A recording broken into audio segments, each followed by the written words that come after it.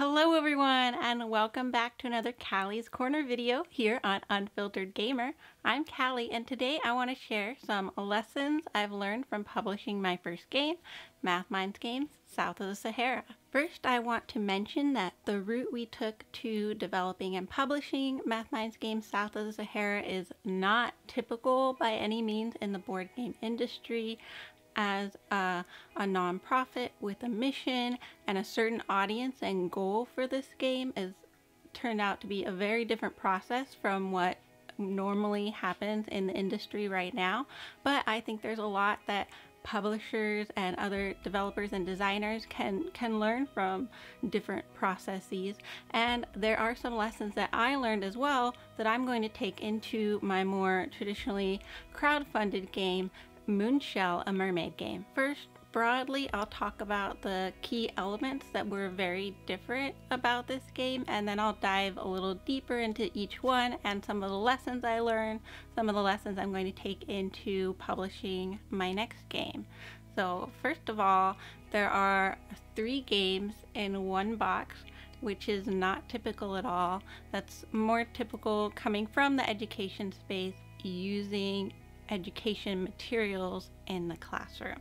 Another unique thing is that the development and publishing of this game was completely donor funded, which is very atypical.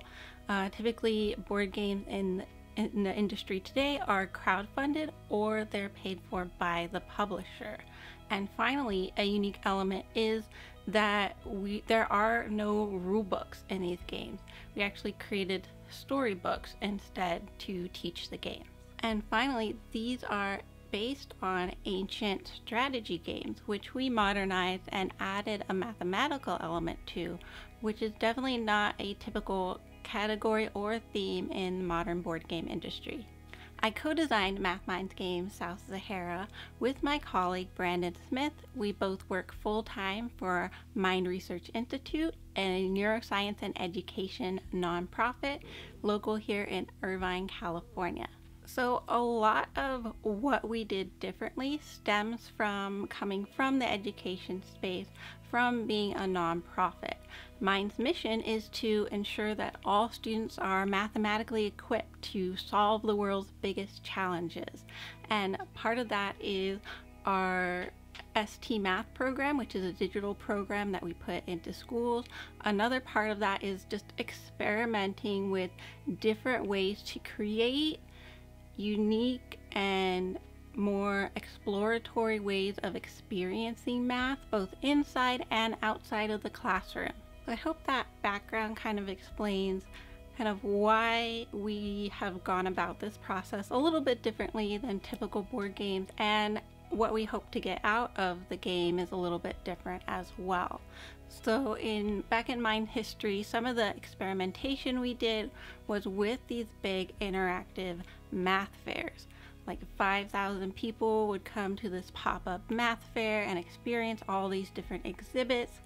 One exhibit that I was very involved with in was South of the Sahara, where when you go into the exhibit, it's kind of like you're transported back in time and to Africa with different dwellings, different replicas of ancient mathematical artifacts from the roots of math in Africa, as well as games. Families could sit down and play these different ancient games that were played from different areas south of the Sahara. From this unique kind of experiment, a big question emerged. How could we take this sort of experience and replicate it in a way that could be scalable for lots of families or lots of schools? And the first thing we went to was creating sort of a kit, uh, a family kit, a family math night kit because we would go to different schools and that's where we do a lot of the testing of our games was after school we'd invite families feed them have them play the games and and we'd observe and get a lot of great feedback that way. And there's a few things we learned from that. We wanted to get a lot of materials out there a lot of these uh, schools they don't get to have a lot of events like this usually they get one every semester where they get to invite the families to come together to, to do something math related. We really wanted to make that count, and there's a lot of of uh, families out there to serve. So we needed also a way to help facilitate these games because we're relying on teachers and volunteers to help teach these games.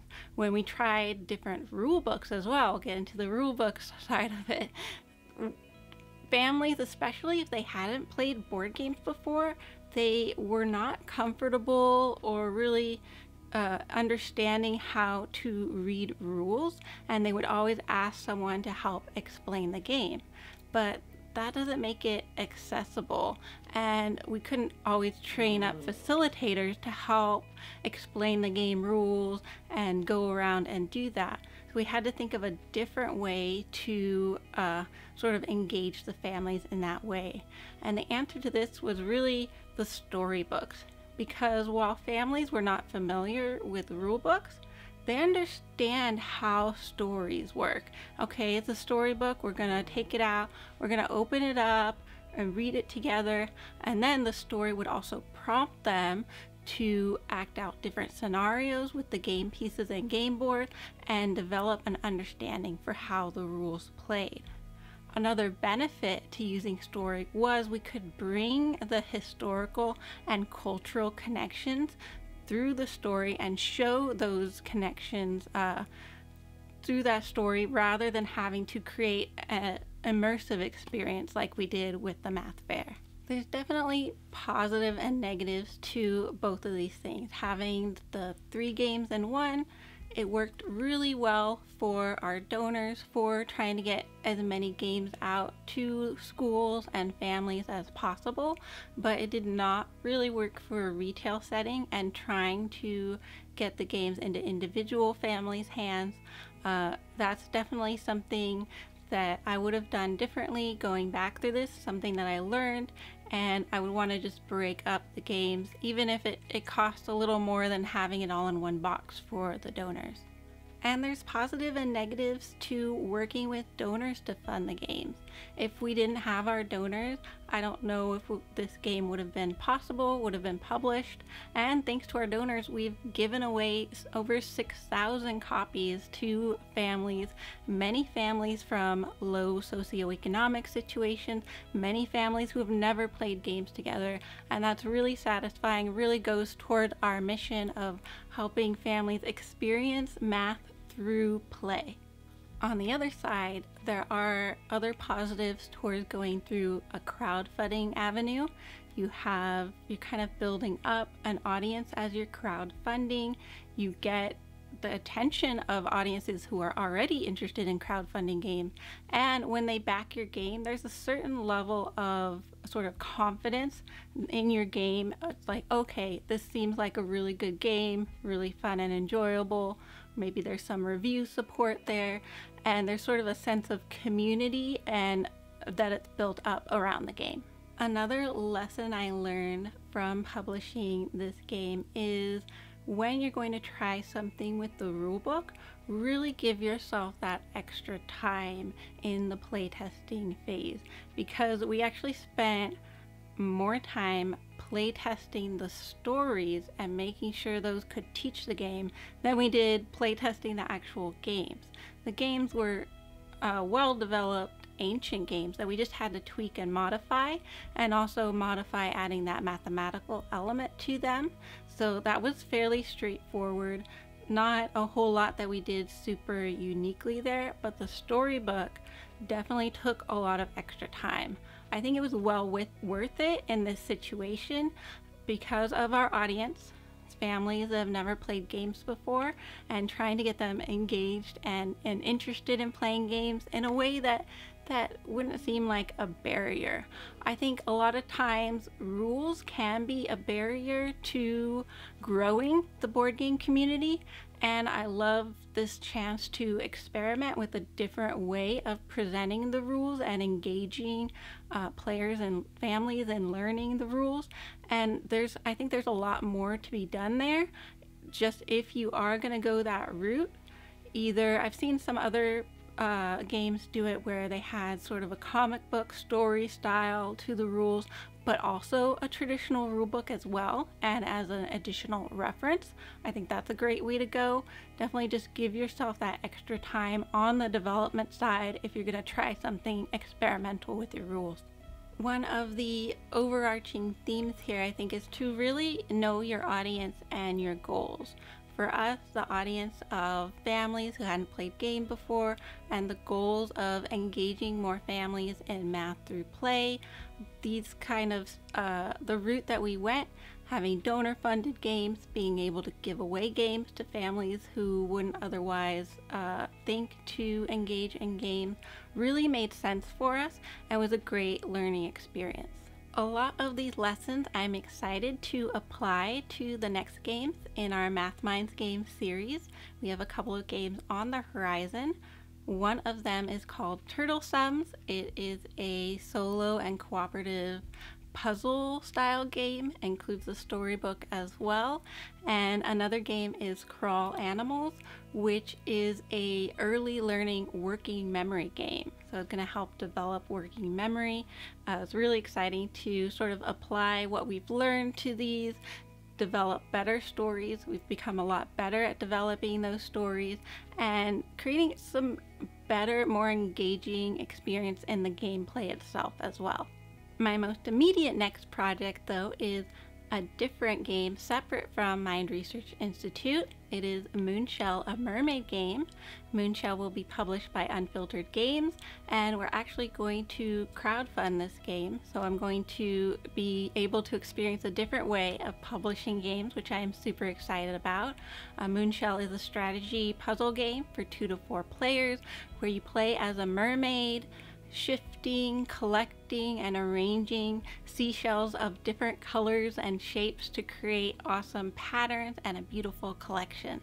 If you're curious and you want to follow my progress on Moonshell, go to moonshellgame.com and you can sign up for the newsletter or you can join our Facebook group where I'm sharing a lot about this process, as well as our Instagram, sharing a lot of photos, as well as just some fun mermaid photos and board game photos as well. Thank you guys so much for listening to my story, to my sort of rant and revelations about going through this process of designing my first published game. It's always super exciting to see what you've poured a lot of your passion and energy into come to life, be published, be something you can touch and hold and, and share with other people, and just seeing families playing the games experiencing math in a different way, experiencing board games for the first time sometime has been really rewarding and just another great element of loving where I work, loving what I do,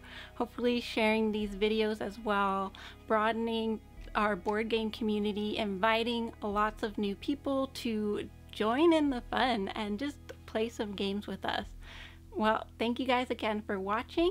This is Calli from Unfiltered Gamer. Make sure you like this video, subscribe, and if you want to share it out, I would greatly appreciate that as well. Hopefully you gained some insights into game design you can apply on your own uh, side of designing or publishing games and tell me about your project below. I'd love to hear about it and and uh, hear what's going on, what you've learned so far as well from your uh, process of publishing games. Well, I will end it here. Thank you guys for watching, and as always, I look forward to seeing you guys next time.